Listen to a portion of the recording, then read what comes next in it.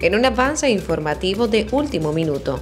Con bultos y maletas en mano empezaron a desplazarse los ciudadanos hacia el interior del país, tras un recorrido por las paradas de autobuses de la avenida Duarte como Aptra y Sichoen, que se dirigen a La Romana, Bávaro, Higüey y San Pedro de Macorís, se reportó que se despacharon de 35 a 40 guaguas con pasajeros que van a pasar estas fiestas navideñas con sus seres queridos. Los controles de guaguas valoraron como bueno el flujo de viajeros que se ha registrado desde el viernes a la fecha, comparado con el año anterior.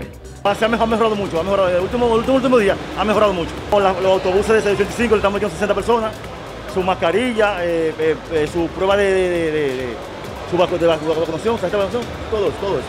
No, el pasaje está igual, para acá nunca suben los pasajes, a 200 pesos de aquí a la Romana. San Cristóbal es un municipio que la gente viaja todos los días. Mayormente muchos comerciantes ustedes reciben que vienen a la capital a comprar. Sí, viene mucha gente a comprarse. Los entrevistados prefieren salir con anticipación para evitar taponamientos y contratiempos.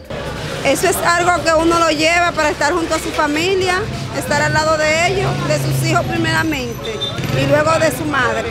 Bueno, yo recomendaría a las personas que vayan al paso, que todo no lo lleven deprisa, que la vida es una sola. Nada, que pasen buena, buen día entonces.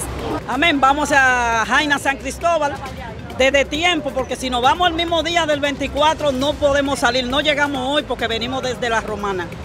Otros hacían su llegada para pasar la época navideña en la ciudad. Sin embargo, se espera que conforme pasen las horas, incremente la cantidad de pasajeros que van de paseo. Jack Minaya les informó.